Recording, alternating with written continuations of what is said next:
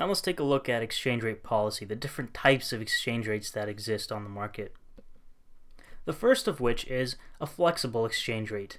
A flexible exchange rate is determined by demand and supply in the foreign exchange market without any direct intervention by the central bank. The rate is influenced by the central bank, for example, due to changes in the interest rate.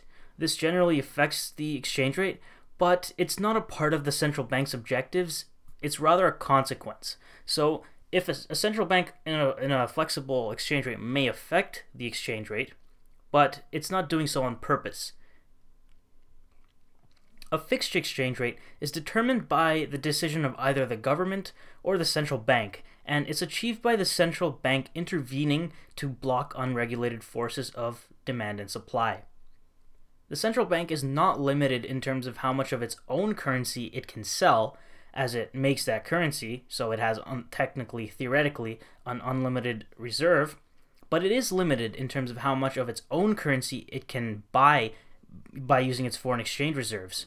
Intervention would have to stop if foreign exchange reserves ran out.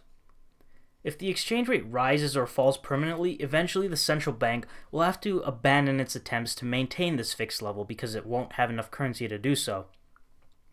Let's say that we have this um, exchange rate uh, graph over here. And we're going to start off at D and S, demand and supply.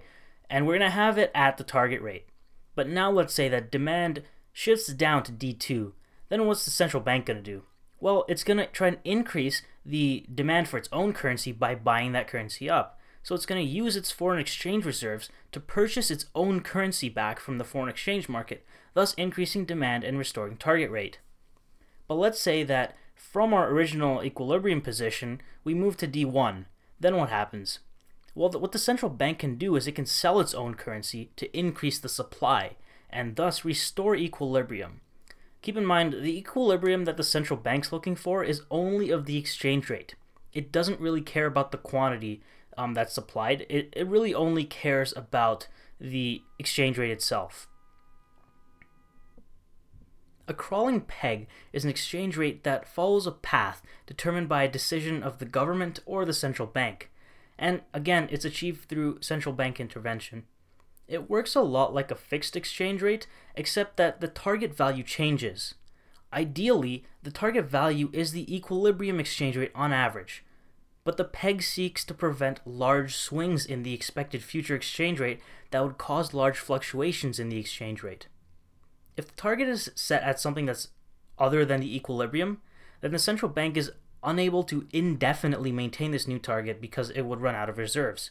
So that's why, in a crawling peg, they try to the, the central bank tries to achieve the equilibrium that an unregulated market would achieve. But it does so, um, it, it maintains that target, but it just prevents large swings in the changes of the exchange rate.